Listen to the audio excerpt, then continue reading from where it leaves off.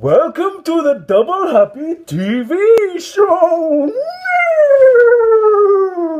On June the 13th, Saturday, we might be playing some songs for you at the Slade Rooms in Wolverhampton.